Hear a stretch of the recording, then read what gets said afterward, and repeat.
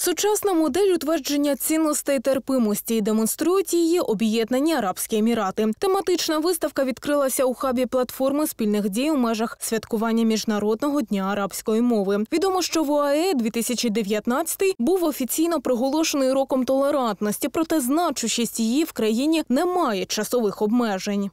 многонациональность и, э, скажем так, э, разные вероисповедания в Арабских Эмиратах дали возможности брать с нее пример, как можно жить толерантно, понимая друг друга, уважая культуру друг друга.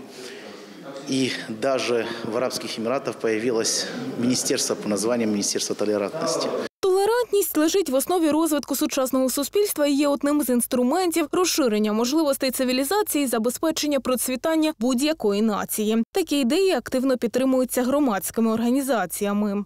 Нам сегодня в платформе очень важно, что цель этой выставки, которая посвящена Дню арабского языка, не сколько показать красивые виды и картины э, одной из самых передовых стран мира, Объединенных Арабских Эмиратов, сколько подчеркнуть идею толерантности, которую они в себе несут уже очень давно и которой пронизаны все ветви власти и даже э, организация рабочих мест в Эмиратах. Поэтому для нас очень важно подчеркнуть эту грань.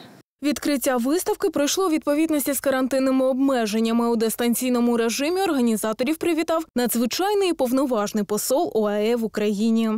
Я вдячний організаторам виставки, що сьогодні у вас проходить цей захід до міжнародного дня арабської мови. Це дуже важлива для нас подія, і приємно, що в Запоріжжі підтримують культуру нашої країни. Дуже прикро, що через карантинні обмеження не можу бути присутнім і разом з вами відкривати виставку.